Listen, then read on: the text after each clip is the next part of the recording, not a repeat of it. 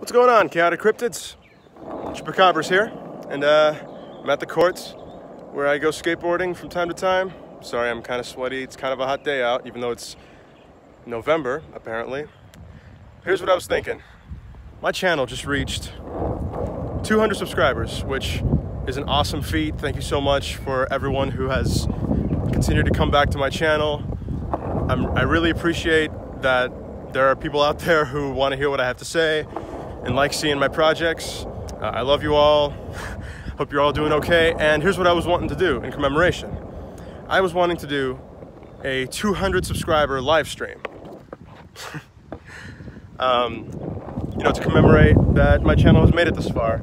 And so what I want you to do is comment on this video if you would tune in to this live stream.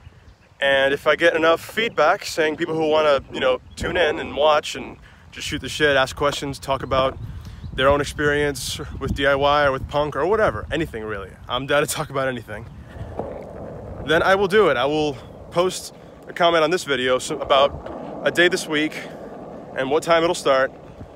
And I guess we'll just do that, you know? I think it'll be really cool. There's a lot of channels that I've seen do it, and I think it's a really fun way to interact with subscribers.